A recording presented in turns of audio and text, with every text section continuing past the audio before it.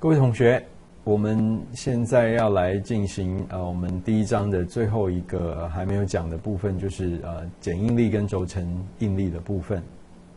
先来看一下轴承应力，好，大家看，像现在呃右下角这边投影片上面大家看到的这个图形，这是你们课本上面的图，有一块这个板子，我们把它叫做 A，然后呢，它被一个这样子一个么字形的一个连接器。好，然后透过一个螺栓这样子把它，所以这一块是那个 A 板，然后这是 B、C，然后呢，它透过一个呃这个螺栓这样把两块板子结合在一起，把它结合在一起。所以我如果这只手要把它扯开的时候呢，就会被我这个螺栓挡住。好，所以就是这是透过螺栓把 A 板跟 B 板这样子两个连接在一起的一个呃。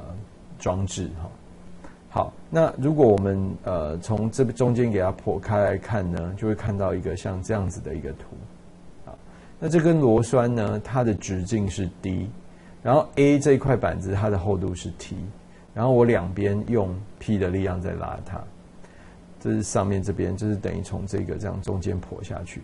那如果我是从这整块板子的上面看下来呢，就会看到类似像这样子的。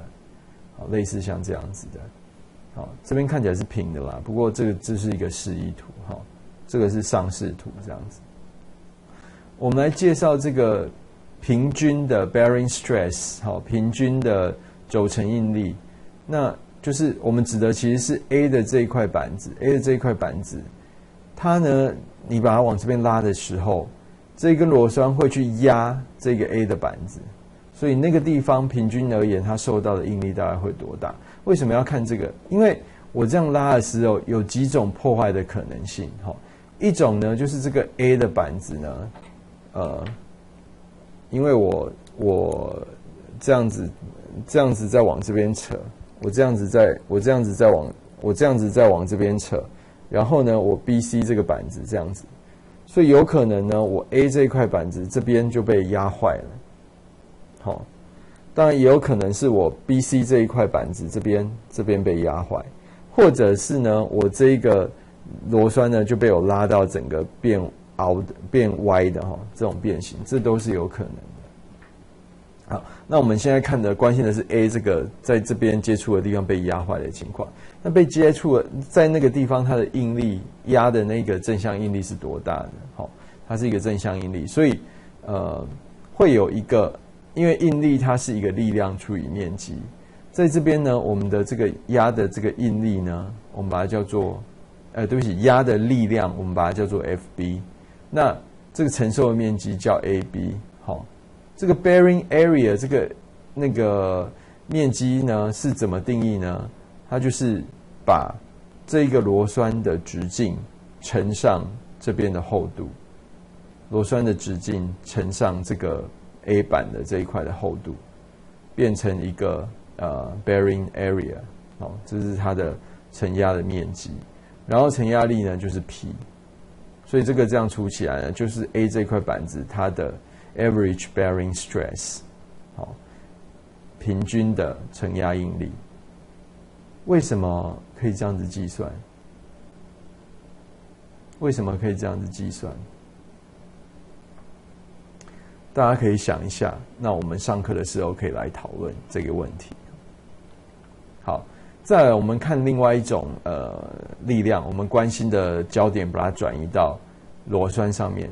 这个螺栓它的呃受力状况是什么样子呢？OK，好，你可以看到这个螺栓它是这样子哈，这一块灰色的就是刚讲的那个 A 板。好，那我 P 的力量这样。把它往旁边拉的时候，这个是这个螺栓，这个这个图是这个螺栓的自由体图。它是不是会从这边哦承受一个呃压力？那另外呢，B 跟 C 那块板子是这样勾着它，所以上下也都会各给它一个压力。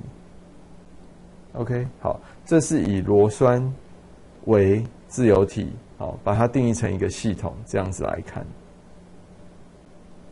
OK，那如果这个螺栓要坏的话，就是这样子被弄坏的。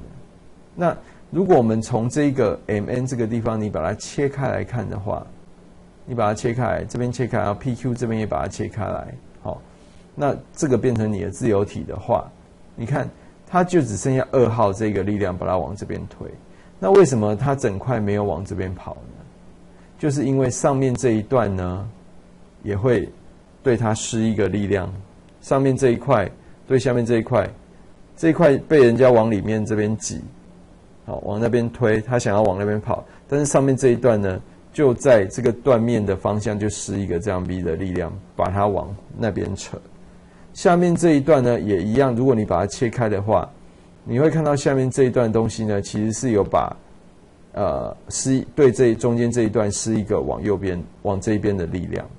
OK，好，所以你看这个力量呢，这个力量它跟它的呃，它施力的方向跟它所在的那个断面是同方向的，所以这种就叫做剪力。剪力就叫做 share，好，这个指的是剪力。那呃，我们之前讲的都是 normal stress。那一种力量，大家有没有注意？像一根呃圆杆，我这样拉，我如果把它断面切开，它那个应力是沿着这个跟这个断面，它那力量是跟这个断面是互相垂直的。好，力量的方向跟这个断面是互相垂直，这种叫做正向应力。如果你的力量是跟你这个断面呢是同方向的，这种叫做减应力，叫做 shear stress。所以是 normal stress 还是 shear stress 两种要把它分清楚。所以如果我们把这个杆子这个呃螺栓从中间这边切开的时候，我们会看到它其实是有很大的剪应力在这边。好，那呃，假如这一个把它往这另外一边推的力量是一百公斤的话，那你可以看到从这一个呃力量的分布上下的这剪力就各五十公斤。好，就是。所以它的这个呃，你把它切开的那个断面呢，其实就承受了一个五十公斤的力量。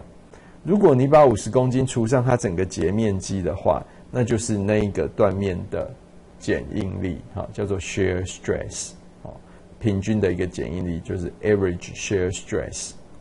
OK，因为为什么叫平均？因为这个这个 V 的力量其实呢，它分布在这整个断面里面，每个断面所承受的那个应力，其实并不是。完全啊，每个地方都一样的，好，所以我们如果把那个总的简历除上它的这个抵抗的面积的话，它得出来是一个平均的结果。好，那这个时候我们就很好奇了，像这一题的这个状况，好，前面这个这样子的一个状况，这中间的这个简历到底会是多少？你算得出来吗？你算得出来吗？OK。我们从分离体图来看，我这个 A 的这一块板子，这边是 P 的力量在拉，所以呢，呃，我如果从这边把它切开，切开，好，连螺栓那边一并把它切进去，哈，所以这个如果是我的分离体图的话，所有呃往这一边的力只有这个 P，那所有往另外那边的力量呢，就是只有螺栓被你切开的时候，我们刚刚讲的这个 V 的力量，OK，那左右两个方向的。力量往左往这边跟往这边的方向的，呃，力量要平衡，所以两倍的 V 就等于 P，所以在这个螺栓的这个你切开的这个断面，它所看到的这个剪剪力的大小应该是二分之 P，它抵抗的那块面积呢，因为它的直径是 d，所以它的面积是派 d 平方除以四，好。那它这边的剪应剪力是二分之 P，所以两个相除，就是你这根螺栓在这个 Mn 这个断面你给它切开的时候，或 PQ 那断面你给它切开的时候，你会看到的那个平均剪应力。OK，呃，这个部分呢是很多同学他会容易搞混的地方哈，因为这个其实就是你们上个学期学的力分析。OK。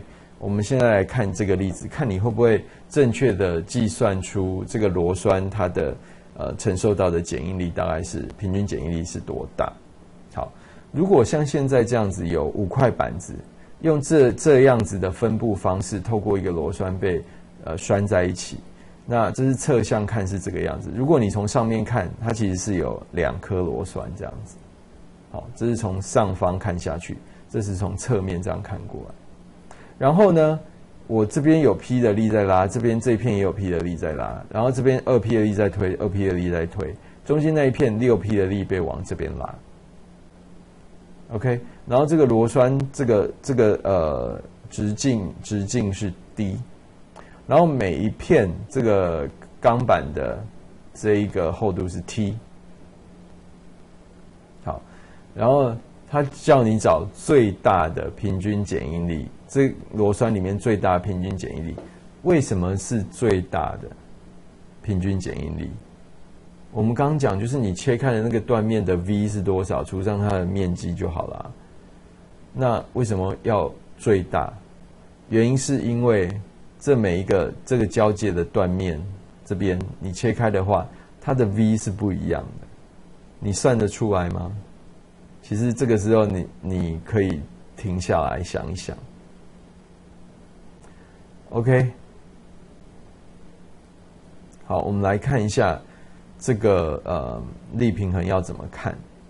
好，这边有一个问题，呃，因为它是完全对称的，所以我只需要分析一跟二，OK，这两个地方的剪应力是多少？OK，好，为什么？如果你把这一根螺栓的力平衡，呃。自由体图画出来，你会画吗？好，跟 P 一 P 二 P 二 P 中间这个六 P 好，但是方向是不一样。这些我们可以在上课的时候来讨论一下。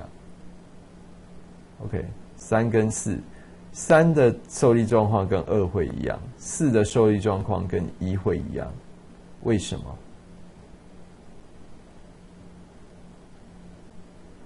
好我们来看它的呃自由体图会长什么样子。如果我把它从这边切开，如果把它从这边切开，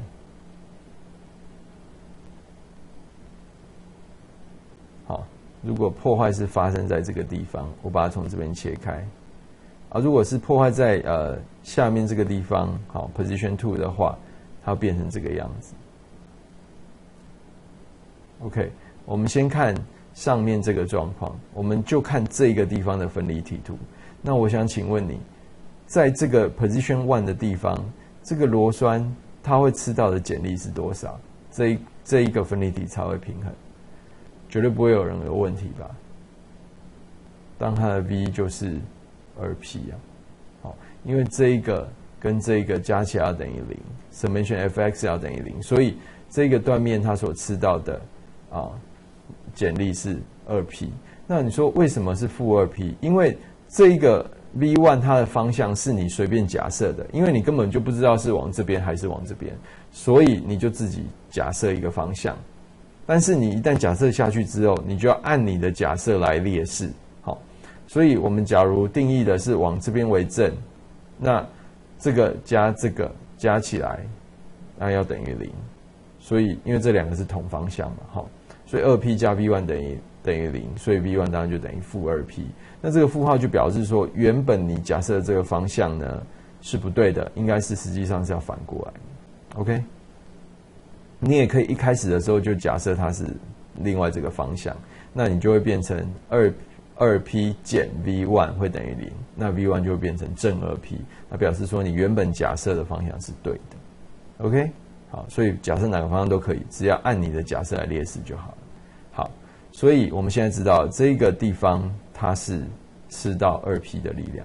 那接下来下面这个地方吃到多大力量呢？我们是不是就变成要看的是，嗯，要看的是这一个这一个分离体图。好，这边有个二 P，这边有个 P。好，所以你看这边有个二 P，这边有个 P，这个地方切开来之后，它。